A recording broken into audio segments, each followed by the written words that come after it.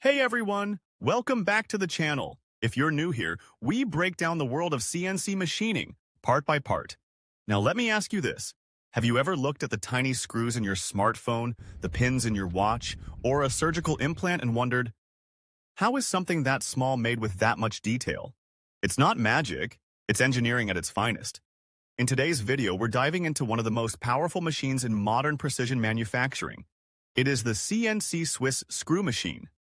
I am going to show you how it works, what it makes, and why it's trusted in industries where there's no room for mistakes. So, grab your favorite tool, get ready to learn something new, and let's break it down.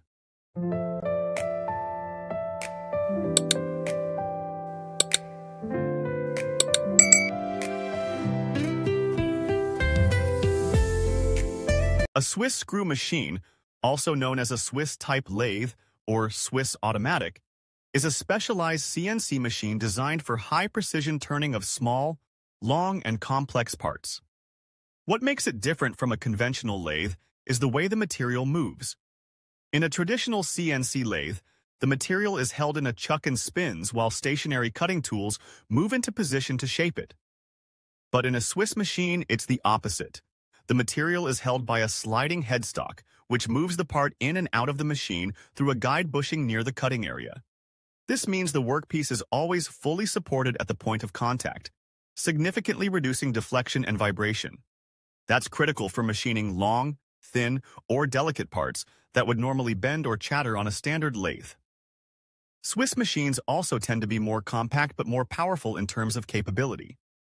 They're optimized for multitasking, with multiple tools working simultaneously and automation built into every step. Let's walk through how a Swiss screw machine operates, from raw bar to finished part. It all starts with a long bar stock, usually made of titanium, stainless steel, copper, brass, aluminum, or plastic. The material is loaded into an automatic bar feeder, which pushes the bar into the machine with precise positioning.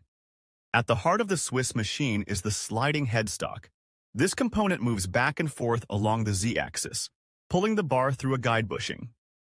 This bushing supports the bar right where cutting takes place, unlike traditional lathes where the part extends unsupported. This design significantly reduces vibration and allows the machine to cut long, slender parts with high stability and tight tolerances. Next, we have the cutting tools, mounted on gang slides or turrets. These tools stay in place while the material moves, enabling multiple operations, turning, grooving, drilling, or even threading, all performed in sequence or simultaneously. For example, one tool might be cutting the part's outer diameter, while another is drilling the center, all during a single cycle. After machining is complete, the part is parted off, dropping into a collection tray. The bar then advances and the next cycle begins immediately. All of this happens in continuous automated cycles, ideal for high-volume production. Swiss screw machines are not limited to simple turning. In fact, what sets modern CNC Swiss lathes apart is their ability to perform multiple operations at once, all thanks to live tooling and multi-axis movement. Live tooling refers to rotary tools powered by an independent motor. These tools allow the machine to perform milling, cross-drilling, slotting, and engraving, right on the lathe, without moving the part to another setup. Now, let's talk axes. Standard CNC lathes typically move in X and Z, but Swiss machines often operate with 7, 9, or even 13 axes. Each axis gives the machine another dimension of movement. For example, X-axis for turning tools and part-off Z-axis for headstock move forward and back. Y-axis for offset drilling and milling. C-axis is spindle rotation for indexing features. B-axis, on advanced machines angular motion for backworking or complex geometry. EFG axis for subspindle and live tool positions. With these axes, a Swiss machine can perform operations on multiple sides of the part, even simultaneously. That means the front of the part might be getting turned while the back is drilled, and the side is being milled, all in one synchronized cycle. So what kinds of parts are made on CNC Swiss screw machines? The answer is small, super long, complex components that demand flawless accuracy, often produced in the thousands or millions. On the other hand, Swiss Machines is designed for making complicated parts such as 3D cutting, engraving. Let's look at a few examples. In medical devices, Swiss machines are used to produce bone screws, orthopedic pins, and surgical implants. These parts are often implanted inside the human body, meaning they must meet exact tolerances and be made from biocompatible materials like titanium or stainless steel.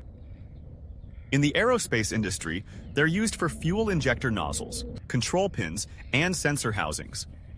These parts must withstand extreme conditions, pressure, temperature, and vibration, without failure.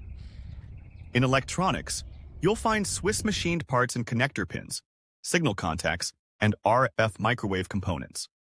These parts are often less than an inch long, but require multiple features and ultra-tight tolerances. In automotive systems, Swiss lathes make components for fuel delivery, ABS systems, and emission control valves, helping vehicles run cleaner, safer, and more efficiently. And in luxury products like Swiss watches, pens, and optical instruments, Swiss screw machines deliver the flawless finishes and micro detail that define quality. Now that we've seen what CNC Swiss screw machines can do, let's talk about why they're the top choice for manufacturers around the world. They offer ultra-high precision, holding tolerances as tight as plus 0.001 inches or 0.0025 millimeter. The guide bushing minimizes vibration, resulting in better surface finishes especially on long, slender parts.